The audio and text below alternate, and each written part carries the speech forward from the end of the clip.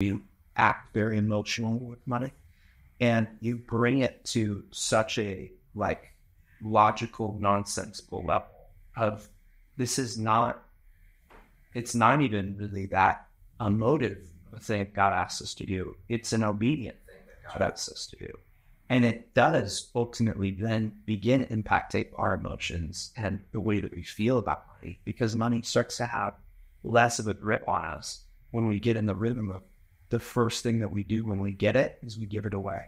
That that's the first action that we do. That has a a heart implication that Changes like you're saying, Yeah. impacts the rest of it. And uh, and it is such a cool thing. Like that just makes so much sense that as you love the people, the more you hear from the people, this has changed my life for the better. And area, the reason Jesus talked about money so much, has such a power and an impact to be able to grip people who really intend to follow Jesus. Yeah. But their money want and their desire for financial, you know, things and their own selfishness continues to pull them back. You know that 10% so, you know that is a you know writer hebrews said without faith it's impossible to please god